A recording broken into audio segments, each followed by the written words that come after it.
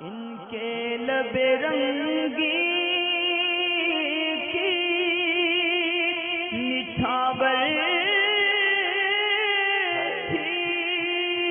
कि जिसने वालेकुम अस्सलाम वरहमतुल्लाह। असल में जो आपने लिखा है, ये कि कागज़ से इस्तिंजा करने के या टॉयलेट में कागज़ इस्तेमाल करने के ताल्लुक से और जो आपने मिसाल लिखी है कि एक आलिम साहब कहते हैं, ये बिल्कुल ऐसा ही है जैसे कोई रोटी से लेटरिन साफ़ करे। असल में बात ये है कि जो यानी उन्होंने, आपने ये लिखा कि उन्होंने बताया कि ये लिखने के काम की चीज़ होता है कागज़, इस पे अल्लाह ताला का नाम भी लिखा जाता है कागज़ पे। अब उसको लेटरिन साफ़ करना तो ऐसा है जैसे रोटी से लेटरिन साफ़ करना कि वो खाने की चीज़ है और उसको गलत इस्तेमाल किया जाए।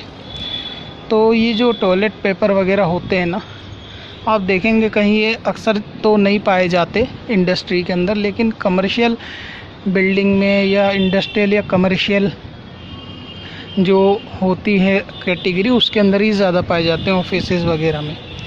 दूसरा ये कि जो पेपर होता है ना, ये ख़ास टिश्यू पेपर ले लें आप एग्ज़ाम्पल के तौर पे, हाथ साफ़ करने का जो होता है। तो ये ख़ास इसी काम के लिए बनाया जाता है, ये लिखने के काम के लिए नहीं बनाया जाता। तो यहाँ पर इसके साथ ही रोटी की मिसाल देना तो मेरे हिसाब से तो ठीक नहीं है।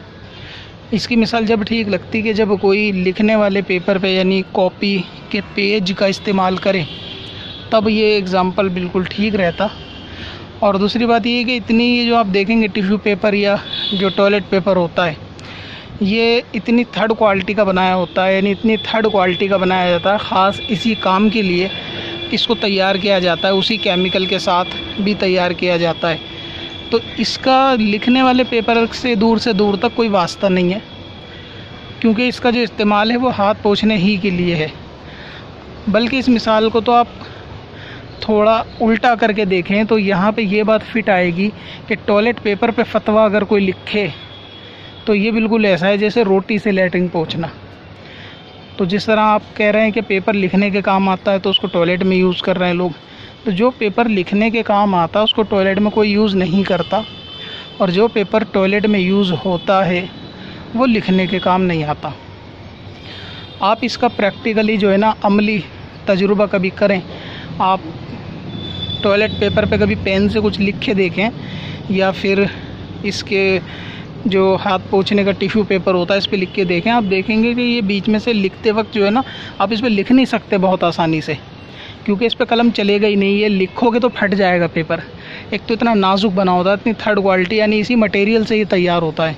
तो इसकी जो असल बुनियाद है, वो लिखना है ही नहीं।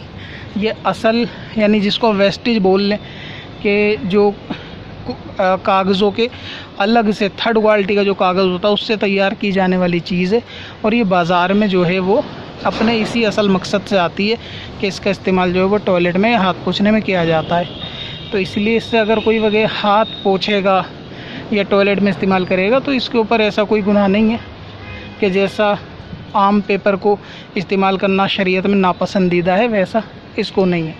अब रहा ये कि बैतुल खला में टॉयलेट का पेपर का इस्तेमाल करना तो ये करना नहीं चाहिए, क्योंकि सुन्नत है पानी का इस्तेमाल करना। और दूसरा ये कि इससे बीमारी होने का अंदेशा रहता है, इसमें भी कोई दो राय नहीं है।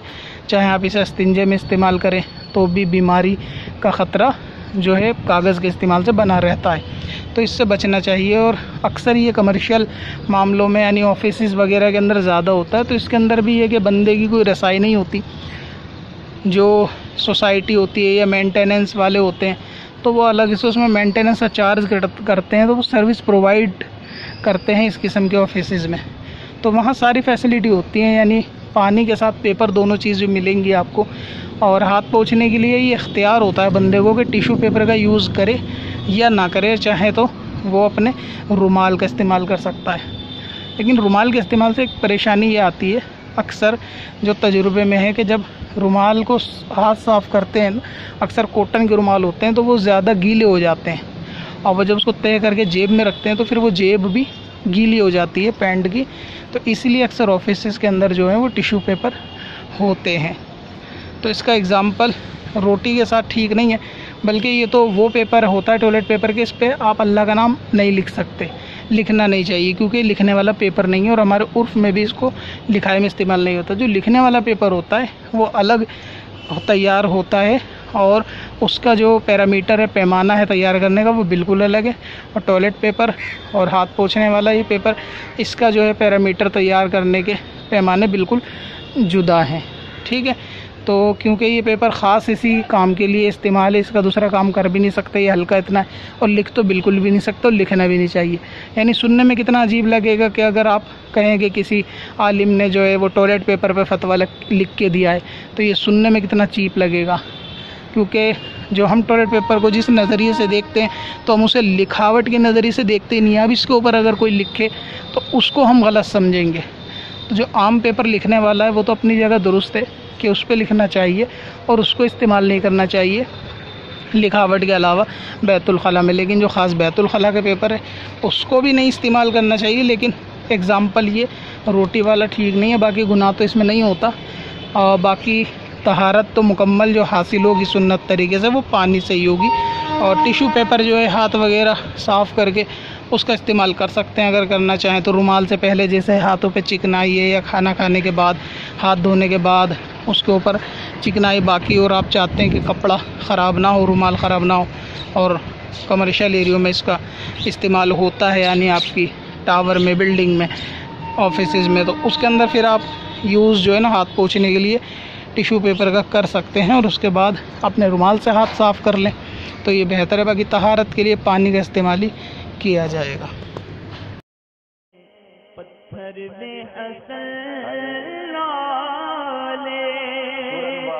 असल पुरनवार